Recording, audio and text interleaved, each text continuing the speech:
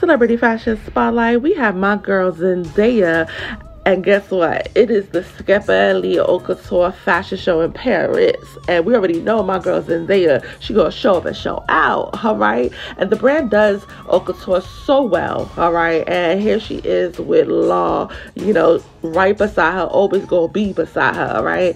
But man, I just love this. And it's giving real the movie Fifth Element vibes. Like I can't unsee it. Like I love the details in the sleeves and the drama of the train, how it just sticks out. Like come on. Like I just love that detail. And then her unit, the wig that she's wearing, like it's giving me that vibe. It's doing what it's supposed to do.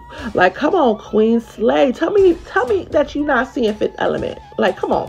What do you guys think? Is this a look or not?